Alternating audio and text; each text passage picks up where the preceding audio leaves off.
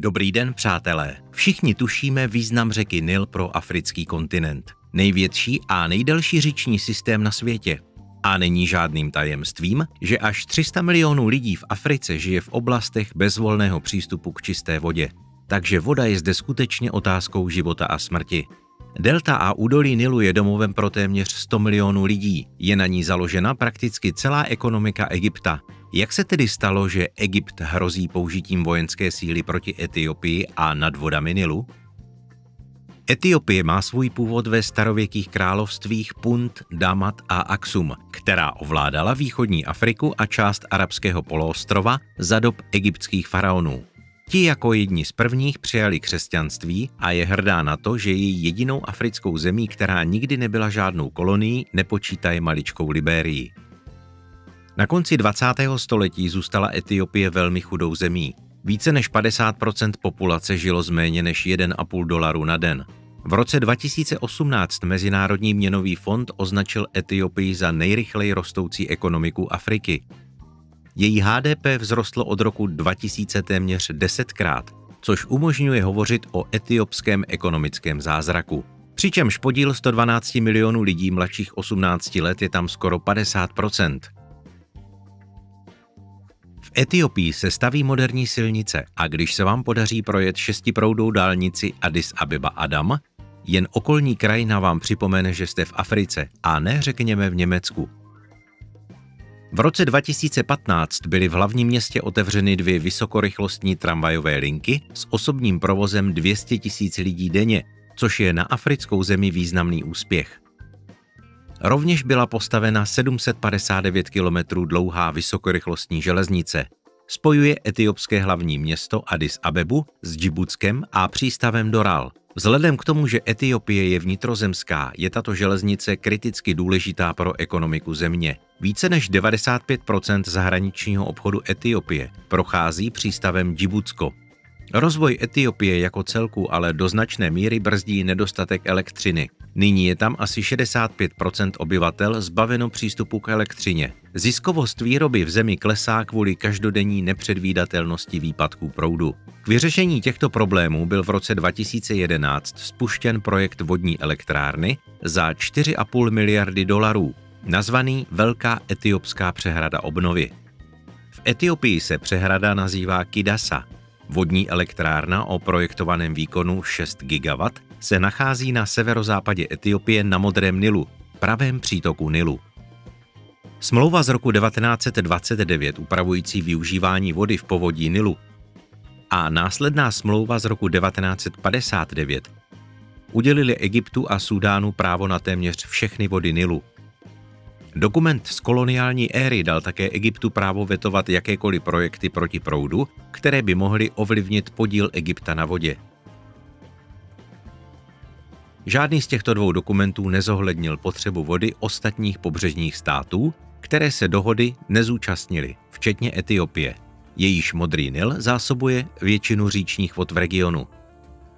Etiopie uvedla, že není vázána dlouholetou dohodou, a zahájila stavbu přehrady na začátku arabského jara v březnu 2011 bez konzultace s Egyptem.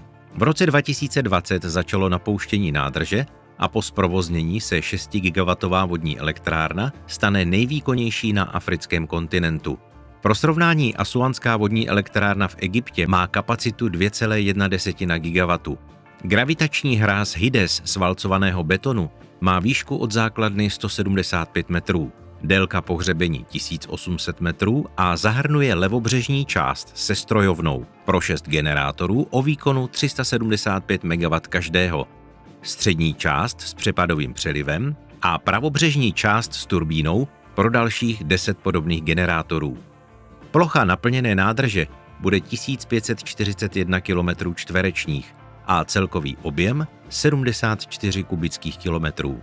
Mezitím ale nedostatek dohod o distribuci vody z Nilu hrozí výrazným zhoršením vztahů, včetně projevů nepřátelství mezi Egyptem a Etiopií. Kámen úrazu je v načasování napouštění nádrže. Etiopská vláda hodlá lhůtu ponechat do tří let, zatímco Egypt požaduje prodloužení procesu minimálně o deset let. Jenomže většina vod Nilu tekoucích do Egypta pochází z etiopské vysočiny z Modrého Nilu. tedy výraz otce dějin Herodota, Egypt dar Nilu, který žil před 25 stoletími.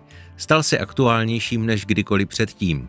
V Egyptě podle údajů uvedených v dopise zaslaném Káhirou Radě bezpečnosti OSN nyní na každého egyptiana připadá 570 kubíků vody ročně, při mezinárodní normě 1000 kubíků ročně. Rozsáhlé snížení průtoku vody v Nilu také ohrožuje zemi humanitární a ekonomickou katastrofou. Objem nádrže v Etiopii je 74 miliard metrů krychlových, zatímco roční průtok Modrého Nilu je v průměru 49 miliard metrů krychlových. Zejména Káhira se důvodně obává poklesu zásob vody v jezeře Násir, nádrži před Asuánskou přehradou. Což kromě poklesu výroby elektřiny povede k nedostatku vody pro zavlažovací systémy země. Téměř veškerá půda vhodná pro zemědělství se nachází v oblasti delty Nilu, z čehož je 33 tisíc km čtverečních zavlažováno. V současné době zemědělství zaměstnává 30% práce schopného obyvatelstva. Podíl agroprůmyslového komplexu na HDP země je 17% Subtropické klima a hospodárné využívání vody, které bylo možné po výstavbě Asuánské přehrady, přispívá k zajištění dvou až tří sklizní ročně.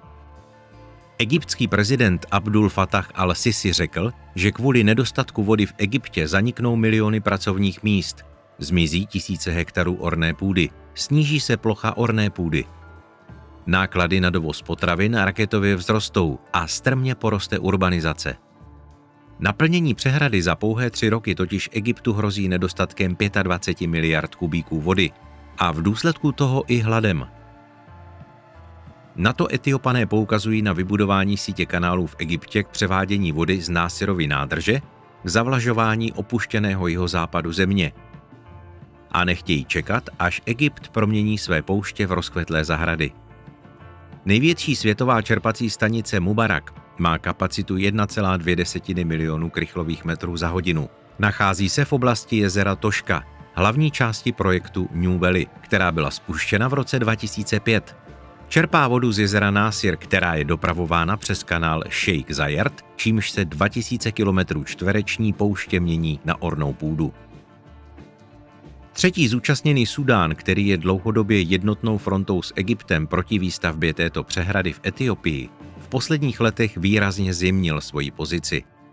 Důvodem je skutečnost, že Súdán není tak závislý jako Egypt na toku Modrého Nilu, Stavba přehrady navíc pomůže stabilizovat tok řeky, což vytvoří příznivé podmínky pro rozvoj závlahového zemědělství.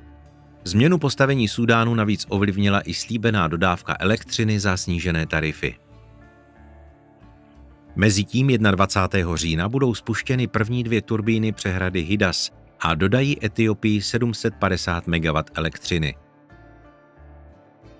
Premiér Etiopie řekl, jsme unaveni žebráním, ale naše touha rozvíjet se neznamená, že máme v úmyslu poškodit jiné země.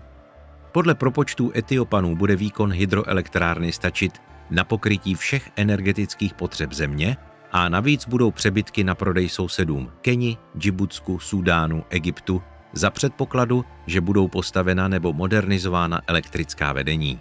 Podle různých odhadů stála výstavba vodní elektrárny Etiopii 5 až 6 miliard dolarů. Většina prostředků byla získána prostřednictvím dluhopisů a investic od soukromých osob. Pro mnoho Etiopanů není přehrada jen zdrojem elektřiny, ale začátkem nové, doslova světlé budoucnosti. Většina obyvatel nemá přístup k elektřině, respektive k běžnému vzdělání a prostě k výhodám civilizace. Nejsou schopni se normálně rozvíjet. Kromě toho se očekává, že velká nádrž poskytne Etiopii asi 7 tisíc tun ryb ročně, což je důležitá okolnost pro zemi, která pravidelně trpí hladem. Po sérii vzájemných obvinování a výhružek použití zbraní se Egyptu, Súdánu a Etiopii podařilo dohodnout na vytvoření společného fondu pro rozvoj vodohospodářské infrastruktury a faktu, že i přes vážné rozpory v tak akutním problému v regionu začnou vést složitá jednání při hledání kompromisního řešení, což vzbuzuje jistý optimismus a umožňuje doufat ve vítězství rozumu v povodí Nilu. Tak přátelé, a to je opět vše. Dejte like, pokud jste se dozvěděli něco nového, napište komentáře a brzy se uvidíme.